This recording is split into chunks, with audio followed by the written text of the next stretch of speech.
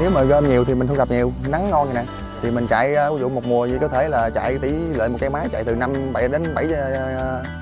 ba bốn chục ngàn cục dơm nếu mà máy trong mà ba cái máy hoạt động có thể một ngày chi phí lợi có thể khoảng một triệu giống ngày trâu này là bốn mấy năm nó thận hơn giáp lúa nó khỏe hơn nó nhẹ hơn nếu mà có dơm kéo dơm xiết nhiều á nó ăn thua người mua á nhiều tiền kéo khi bảy chiến tám chiến chiến chỉ tính ra chiến trăm mấy chục ngàn